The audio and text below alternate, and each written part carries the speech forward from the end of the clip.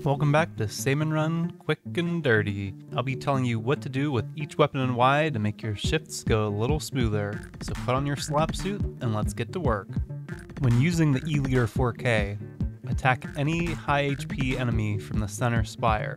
This rotation is limited on range or fire rate depending on the weapon. Let the bosses come to you to pick off Cohocks at the shore. Other weapons won't have a horrible time dealing with them, but it will clear up time for them to deal with chums, small fries, and paint. As for bosses, focus on steel eels, steelheads, scrappers, drizzlers, and big shots. And as a bonus tip, try to hit enemies in a line. Your shot will pierce all the enemies, splatting everything in the path.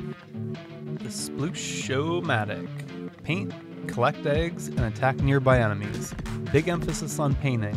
The ink brush will be able to fend for itself, but even it's limited due to having to commit hard when swinging the brush. This weapon has incredible damage though, so don't be afraid of getting your hands dirty.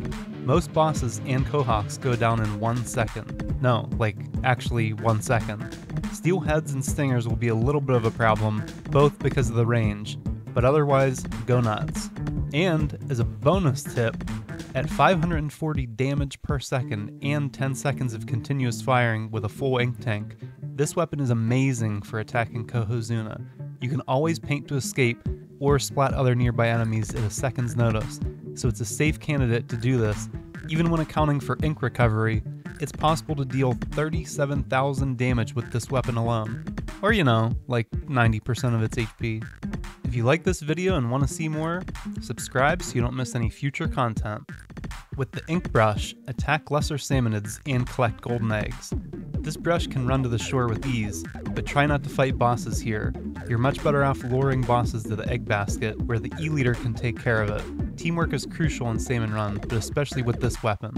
You're much better off thinning the lesser salmonids and letting your team focus on bosses.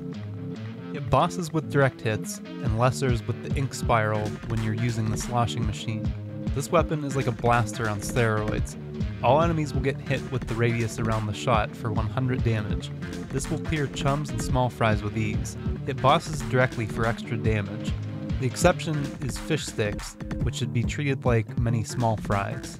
The decent range also makes this weapon a good candidate for dealing with stingers, just be careful by the shore because of the low fire rate. I hope your egg baskets runneth over.